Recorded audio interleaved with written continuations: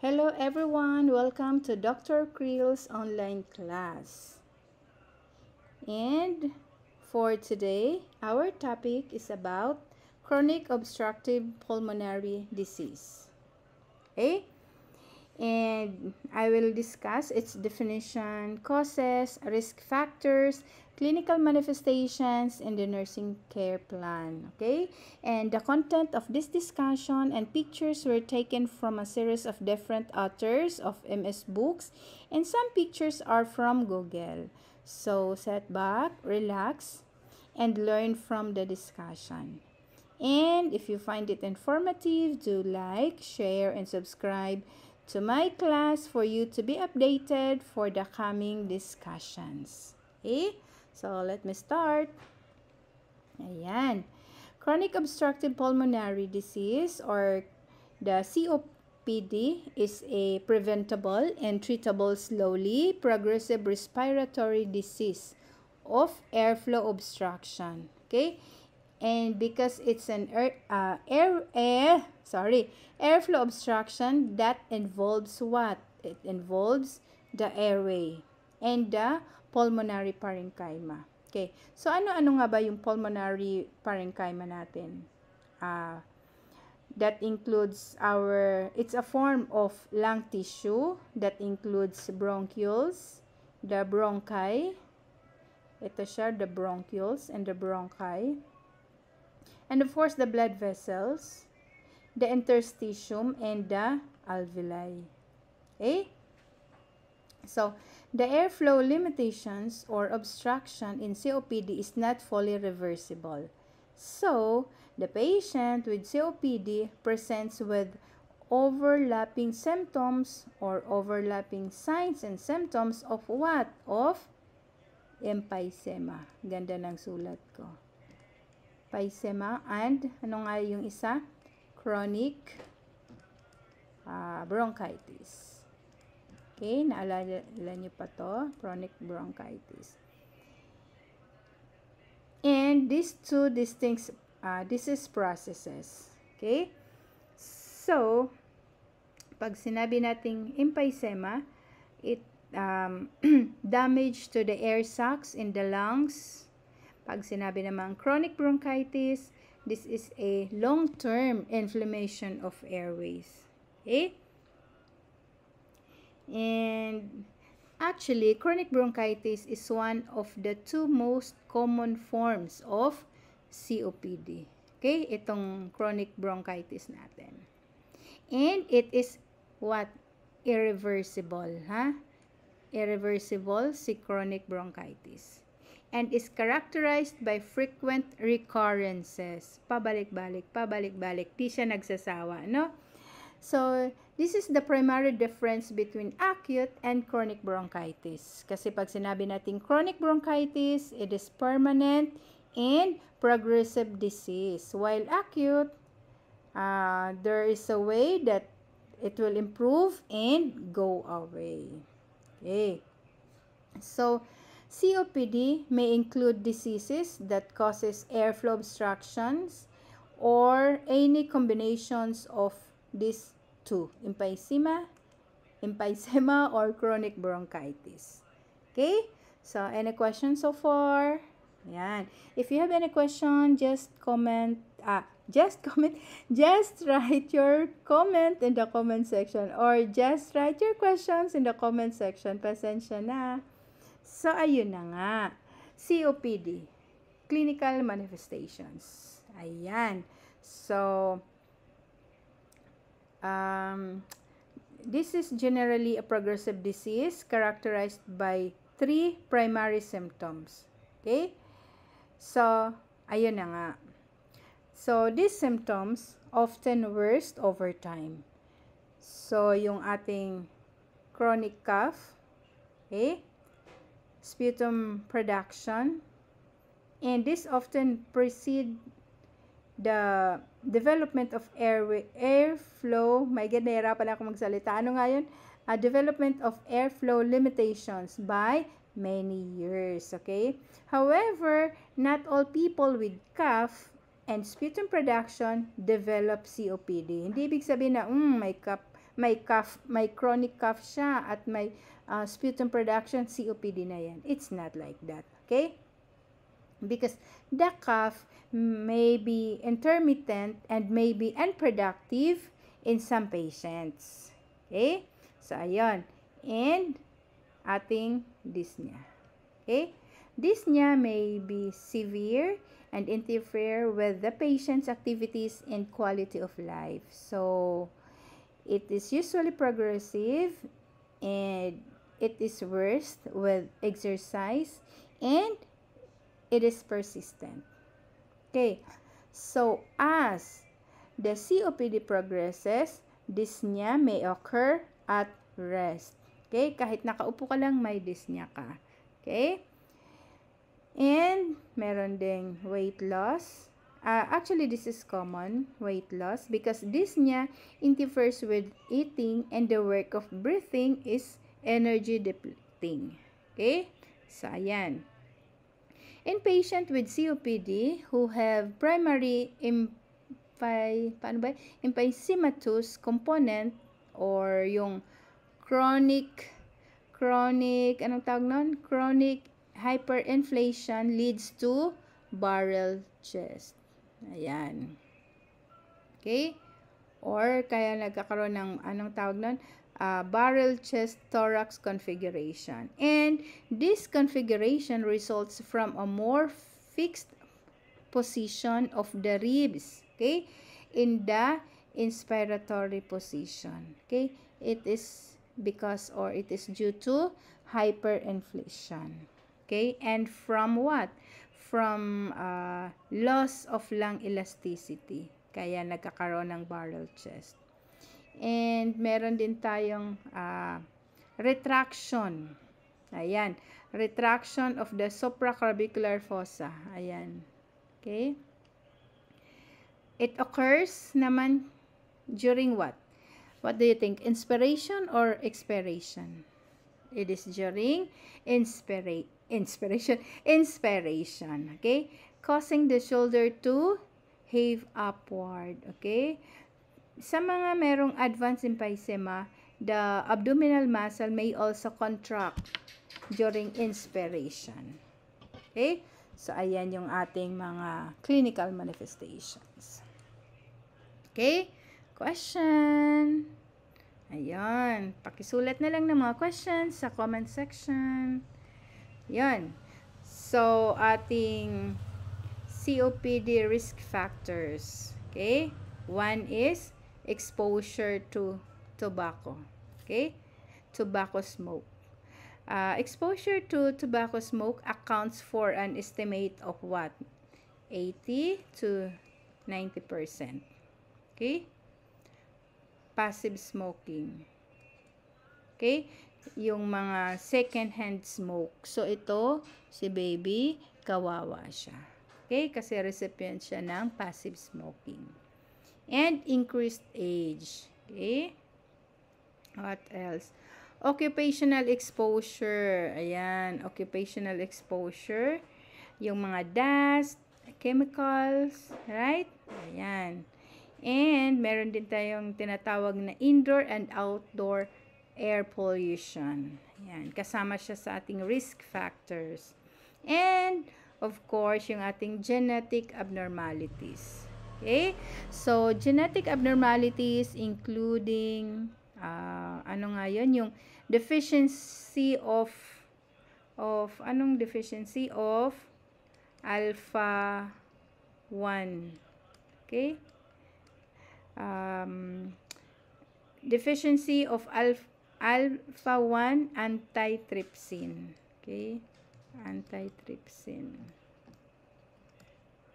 Okay? What is this? This is an enzyme inhibitor that normally counteracts the destruction of lung tissue by certain other enzymes. So, ayun na nga.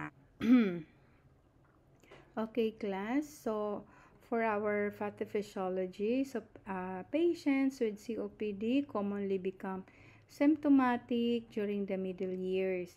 And the incidence of the disease increases with age, di ba? It is included in our risk factors. Uh, although certain aspect of lung function normally decreases also with age. Okay? Uh, example, yung mga um, vital capacity and yung mga force expiration volume, okay? Even in just one second, okay?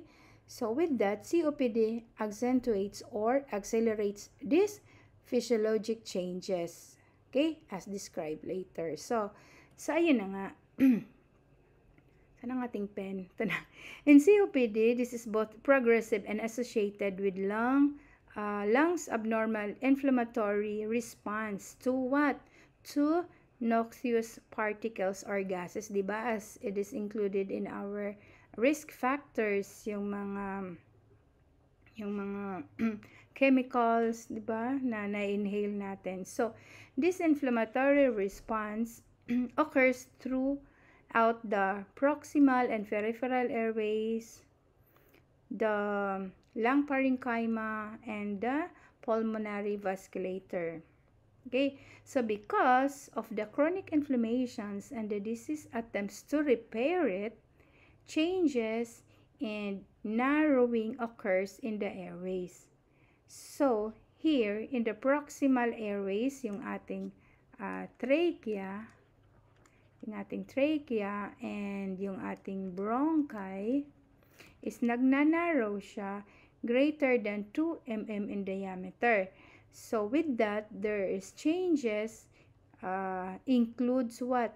Increase numbers of goblet cells and increase, I know, not increase, enlarge um, submucosal glands. Okay. So both of which lead to hypersecretions of the mucus. Okay. So, In the peripheral airways naman, may, yung ating, ano nga ba yung ating mga peripheral airways? Yung ating bronchioles. Okay? Yung ating bronchioles and yung ating yeah, yung ating bronchioles. Siya lang yung ating peripheral airway. Yung bronchioles natin is less than 2 mm naman yung diameter. So, in here, inflammation causes thickening of the airway wall, peribronchial fibrosis, exudates in the airways, and overall narrowing. Okay? so, kaya nagkakaroon na ng obstructive bronchiolitis.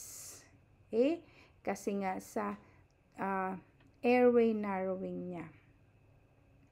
So, over time, this ongoing injury and repair process causes what? scar tissue formation and narrowing of the airway lumen. okay, sorry. So, uh, inflammatory and structural changes also occurs in the lung parenchyma. Okay, so hindi lang siya sa ating peripheral airway, hindi lang, hindi lang siya sa ating trachea. Okay, pwede din sa ating bronchioles nga kasama din siya dito, 'di ba? Sa ating respiratory bronchioles at sa ating alveoli. Okay? So ano na yung mga mga parts na involved, yung ating trachea, yung ating bronchia, broncha, yung ating bronchioles, and yung ating alveoli. Dito sa ating lung parenchyma, yung ating alveoli is uh, damaged na din. Or involved pala. Involved. Okay? Uh, yung ating alveolar wall destruction, it leads to loss of alveolar attachment and a decrease in elastic recoil. And finally, the chronic inflammatory process affects the pulmonary vasculature. Okay? Anong nangyayari sa ating uh, pulmonary vasculature? Anong nangyayari dyan? It causes thickening of the lining of the vessel and hypertrophy of the smooth muscle. Okay, so which leads to pulmonary hypertension. So, ayon. So, uh, processes related to imbalance of substance in the lungs may also contribute to what? Airway limitation. Okay? So, ayon. Yun yung ating pinaka-simple na explanation ng ating uh, chronic obstructive pulmonary uh, disor disease. So, when activated by chronic inflammation, yung ating, anong tawag ng ating mga substances, yung ating mga proteinase, and other substances may lead uh, or may be released at nagkaka-damage na yung ating parenchyma of the lungs. Okay? So, ayun. Pero itong mga parenchymal changes natin may also occur as a consequence of inflammation, 'di ba? Or pwede ding as a consequence of environmental factor or genetic factor, 'di ba? Kung naalala niyo kanina sa ating risk factor, yung ating genetic, yung ating alpha 1 antitrypsin deficiency. Okay? So, ayun. So, if you have any question for our pathophysiology, just comment ah, just comment, just write your question in the comment section. Class, so ito na yung mukha pag merong narrowing sa ating bronchioles. It's because of the excessive mucus. Ayan na yung mga yellow na part. Okay? At kung nagkakaroon ng destruction of the alveolar wall, this is the result. Look at the healthy bronchioles, no? And alveoli. Yan. Tapos ganito naman pag may COPD, ang ating bronchioles and at, at ang ating alveoli. See the difference, right? It's because of the excessive mucus. Okay? What else? Mm. Let's come to our part, okay? Our care of the patient with chronic obstructive pulmonary disease. So, impaired gas exchange, ito, dalawa kasing nakalagay dito. So, sample lang naman to. Pag sinabi nating impaired gas exchange, this is a disruption of the oxygen and carbon dioxide. Okay? That's why it's called impaired. Because there is a disruption of the oxygen and carbon dioxide exchange where? In the lung tissues. So, the nursing diagnosis can be uh, serious health threat usually closely associated with other nursing diagnosis like what like ineffective uh, breathing pattern okay or ineffective airway clearance ayan so our example here is impaired gas exchange and ineffective airway clearance due to chronic inhalation of toxins. So what will be the goal? Improvement in gas exchange. So these are our nursing interventions. One is evaluate current smoking status, educate regarding smoking cessation, and facilitate effort to quit. But sometimes it's really difficult for the patient to quit, lalo na kung long term na siyang nag-smoke. But still, it depends uh, sa discipline ng patient kung gusto niya talagang magamot siya, right? So, Evaluate currently smoking habits of the patient and the family. Yes, hindi siya naninigarilyo but there is a family member na nag-smoke. Kaya nga, uh, one of the risk factor is um, secondary smoke. Okay? Educate reg uh, regarding hazard of smoking and relationship to COPD. What else? Evaluate uh, previous smoking cessation attempts. Right? Baka noong batang-batang bata pa siya. What else? Provide educational materials. Okay? Ngayon, it's uh, madali na lang, di ba? Um, nasa internet, nasa mga websites, madaming mga materials na pwede nating i-share sa ating patient. And, refer to a smoking cessation program or resources kung meron sa hospital natin. Okay? Second, evaluate current exposure to occupational toxins or pollutants and indoor and outdoor pollution. Kasi kahit nasa loob tayo ng bahay, pwede pa ding may masasabi pa din na tayong pollution. Okay? So, first, evaluate current exposures to occupational toxins, indoors and outdoors air pollution. What are those? Like smogs, toxins, fumes, and chemicals. Okay? What else? Emphasize primary prevention to uh, occupational exposure. So, this is best achievement by elimination or reduction in exposure in the workplace. So, if the uh, exposure is nangyayari sa workplace natin. So, anong pwede natin gawin? It, uh, actually, kung halimbawa din mag-stop si patient mag-work, it will cause din sa financial uh, difficulties, right?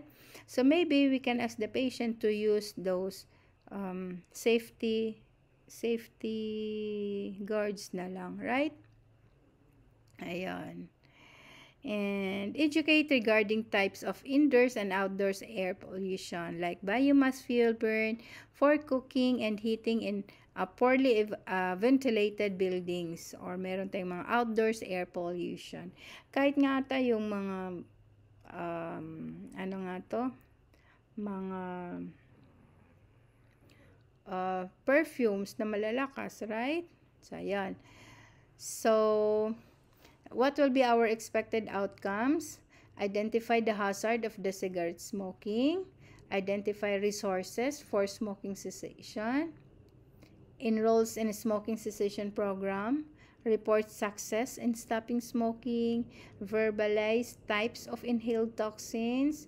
Minimize or eliminate exposures and monitor in public announcement regarding air quality and uh, uh, minimizes or eliminates exposure during episodes of severe uh, pollution. Okay? Sorry. So, um, actually, this is just a sample uh, care plan. So, madami pa din tayong maidadagdag dito, right? For example, na lang kung nakapagpa-check up na si patient. So, there are medications that needs to be taken. So, ayan. So, dapat instruct din natin na religiously, the medication should be taken at the right time, um, right dose, di ba? Yung ating mga um, medication. Okay? So, ayan. So, any question?